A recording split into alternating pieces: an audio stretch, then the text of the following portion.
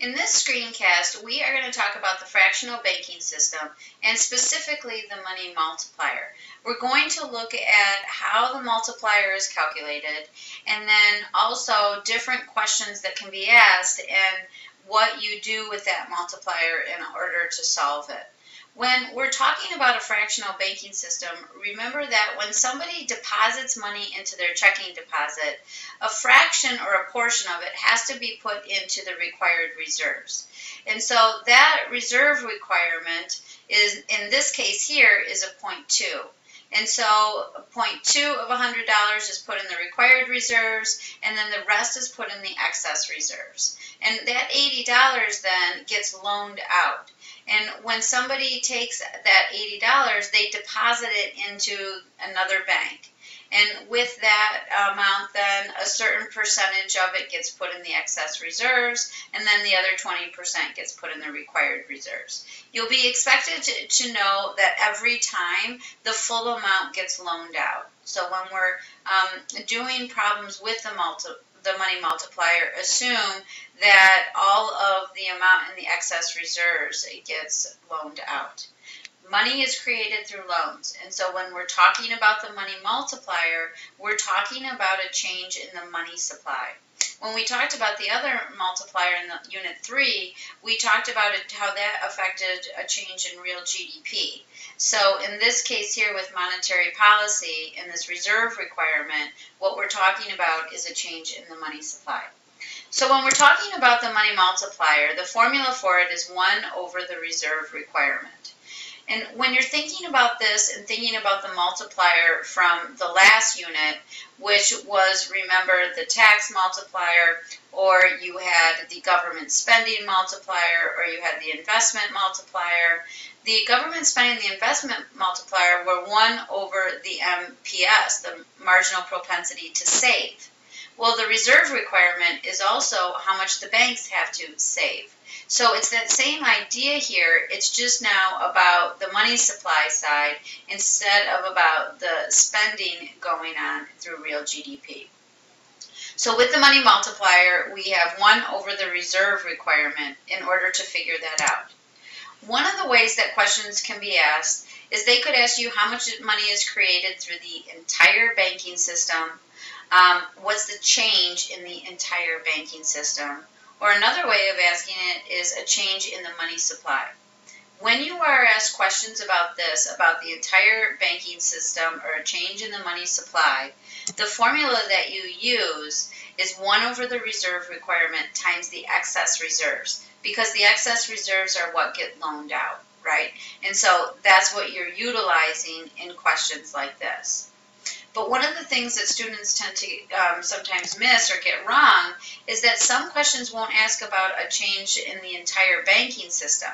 Instead, they'll ask about the expansion of bank deposits or a change in demand deposits. And so what this is asking here is how much money keeps getting recreated, not how much money is entered new into the money system because that initial deposit that you put in was money that somebody already had. And so they're adding that in. And so that's why it's not a change in the entire banking system, that initial deposit. And that's why you use the excess reserves, that amount that they first um, loan out. But when they ask about a change in the demand deposits or bank deposits, for that one, you're using the 1 over reserve requirement times the initial deposit because they want that one put in there. Another way that you could be asked questions, though, would be not about individuals and demand deposits that they put in, but it could be about the Fed. In order for the Fed to get money, they're not just printing it out and using it. Instead, what they're doing is they're getting money from banks and then they're utilizing those assets in order to add them to the money supply. So they aren't money that's trickling through the money supply.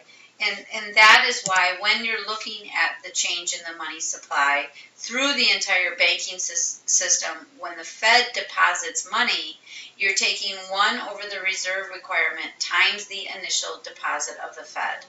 So it's really important to look and first see what the question is asking. So let's take a look at some of the different questions ahead and see which one of the three formulas it is that we would use. So the first question here says Charlie deposits $150 into the bank. The reserve requirement is 0.2. And usually they will always give you the reserve requirement, so um, you just need to then funnel that into 1 over the reserve requirement to get the money multiplier. How much money is created through the entire banking system? They did not use how much money is created through the demand deposits. So you need to recognize that they don't want that initial deposit accounted for when they're looking at how much money is created because that was already part of the money supply. So when you're looking here at the equation, you would use 1 over the reserve requirement times the excess reserves. And so with that here, if he's depositing $150 in and the reserve requirement is 20%, that means that $30 is put in the reserve requirement and then the 80% of 150 or $120 is going into the excess reserves. 1 over 0.2 is 5. So in order to figure out the change in the money supply, 5 times 120 is $600. So look at that versus the question here when it's asked what is the expansion of demand deposits. And so for this one here, they want to know how much money is circulating within the bank itself, not the entire banking system. And so with the expansion of the demand deposits, you're, you're accounting for that initial deposit. So your formula there is 1 over the reserve requirement times the initial demand deposit. Um, again, 1 over 0.2 is a 5 times 150 because that's initially what Charlie is putting in gives you a change in demand deposits of $750. Look at the difference between the two questions. How much money is created through the entire banking system? What is the expansion of demand deposits? Okay, the third way that they could ask a question using the money multiplier is about the Fed. And in this case here, what is the change in the money supply through the entire banking system from the Fed buying $200 worth of securities from a bank with a reserve requirement of 0.2? And so in this case here, you would have it where the change in the money supply would be 1 over the reserve requirement. This wasn't money circulating through the system. This was an asset that was within the bank. And as a result, then you have to use that total amount that the Fed is now contributing to the money supply. And so the change in the money supply equals 1 over the reserve requirement times that initial deposit by the Fed, which creates a change in the money supply of $1,000.